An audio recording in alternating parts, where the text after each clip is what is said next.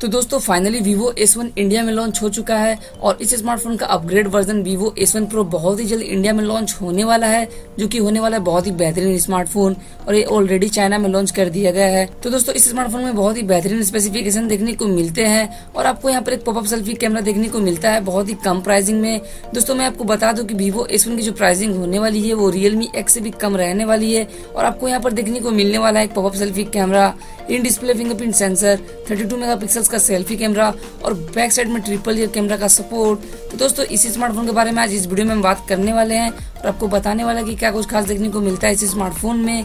और क्या होता है स्मार्टफ़ोन का प्राइसिंग इंडिया में। तो दोस्तों, चलिए वीडियो को स्टार्ट करते हैं। तो दोस्तों, Vivo S1 Pro आपको देखने को मिलने वाला है, बहुत ही कम प्राइसिंग में और इस स्मार्टफ़ोन के स्पेसिफिकेशन जो होने वाला है, वो बहुत ही बेहतरीन होने वाला है। अगर बात करें दोस्तों, इस स्मार्टफ़ोन की डिज़ाइन और डिस्प्ले की तो दोस्तों, यहाँ पर आपको देखने को मिलने वाला एक 6.39 इंच की एक सुपर एमोलेड डिस्प्ले जो की आने वाला है डिस्प्ले फिंगरप्रिंट सेंसर के साथ। और साथ ही दोस्तों, यहाँ पर आपको फ्रंट साइड में कोई भी नॉइस देखने को नहीं मिलने वाला वीवो एस वन के जैसे। यहाँ पर आपको देखने को मिलने वाला है पॉपअप सेल्फी कैमरा जो की होने वाला है थर्टी टू मेगा का।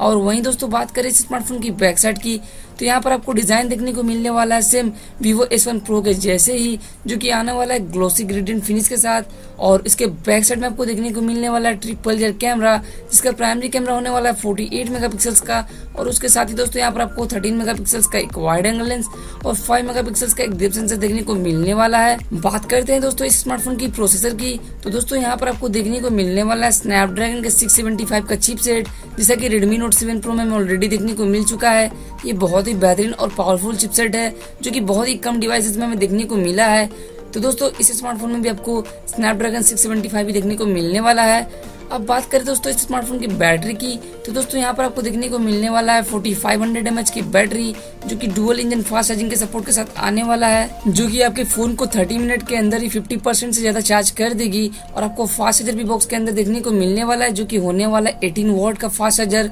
बात करें दोस्तों इस स्मार्टफ़ोन की प्राइसिंग और रिलीज़ डेट की तो दोस्तों इस स्मार्टफ़ोन की जो प्राइसिंग होने वाला है, वो आपको 14 से फिफ्टीन थाउज़ेंड रुपीज़ के करीबन देखने को मिलने वाला है वीवो जेड वन प्रो के जैसे ही। और इस स्मार्टफ़ोन का जो रिलीज़ डेट होने वाला है दोस्तों, ये होने वाला है सितंबर के महीने तक इंडिया में। तो दोस्तों कैसा लगा आपको ये स्मार्टफ़ोन का फीचर्स हमें कमेंट करके बतला सकते हैं। एंड फाइनली दोस्तों, अगर वीडियो अच्छी लगी हो तो वीडियो को लाइक करके कमेंट कर दे चैनल को सब्सक्राइब